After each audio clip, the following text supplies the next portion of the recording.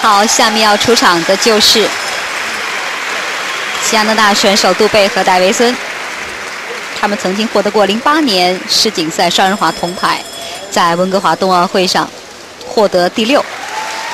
短节目之后排名第八位。这个赛季，杜贝和戴维森的状态起伏也是比较明显的。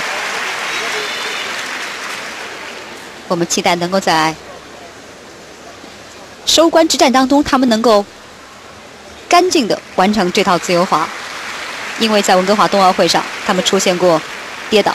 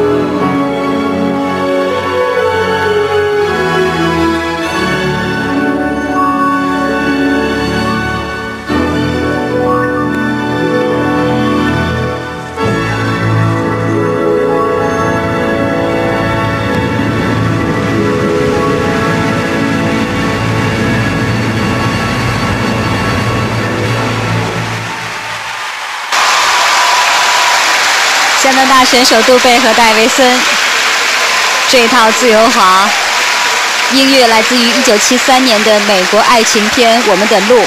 这部电影讲述的是一个信念与现实的冲突、爱情与人生原则矛盾的经典的爱情悲剧。那么它的主题曲，也就是他们选择的这段音乐《往日情怀》，在1973年是获得格莱美年度最佳歌曲。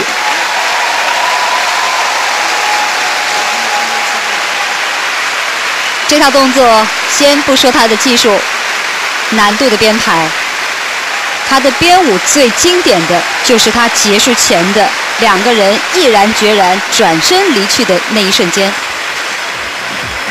刚才给大家介绍过，这部电影讲述的就是一对恋人因为对人生原则和政治态度的坚持，不得不选择分离的这么一个故事。所以呢，前面一直演绎的是他们如何的这个缠绵，最终为了配合这段音乐的这个主题，最终他们是以分手作为结局。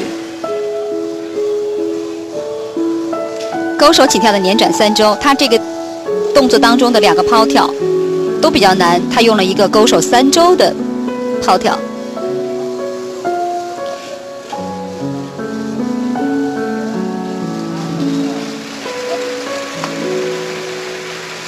在这套自由滑中，两个坎儿他们都过了，一个是萨霍夫三周单跳，一个是勾手三周的抛跳。这两个坎儿在二十多天前的温哥华冬奥会上都出现过严重的失误，并且还有一次跌倒。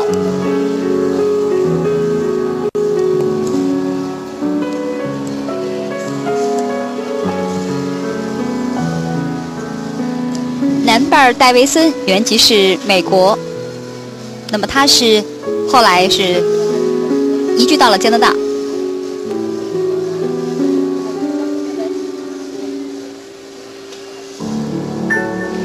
可能我们能够发现杜贝的这个抛跳啊，它有个特点，它在空中转体的时候，它的轴心是偏的，但它每次都能很稳的落冰。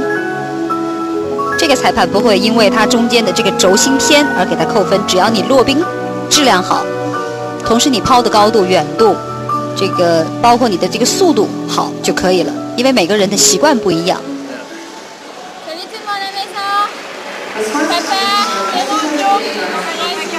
杜贝只有二十二岁，长得也非常的娇俏可人。七十分五十七点六三，节目内容分六十点零八。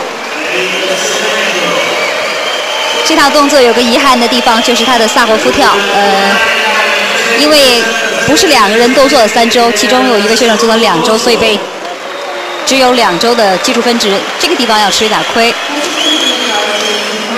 最后成绩是一百七十七点零七，那么目前是暂列第二的。